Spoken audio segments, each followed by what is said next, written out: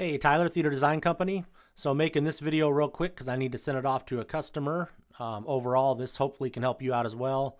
So the new Integra receivers, just like some Yamaha receivers of the past, the uh, Goofball engineers have put HDMI buttons on the remotes and on the Integra, even the front panel. So to fix this issue on the remote, you need to look and find the HDMI button, which is obviously right next to the power button. And what's happening is you're clicking on that and it's changing the HDMI output from main to sub, so you're not getting any video. And then again, on the front panel, as you can see by the manual here, uh, button number three, which is on the left-hand side, if that gets hit by a kid or a house cleaner or anybody else in the equipment rack, again, it switches it from main to sub and you lose your video out.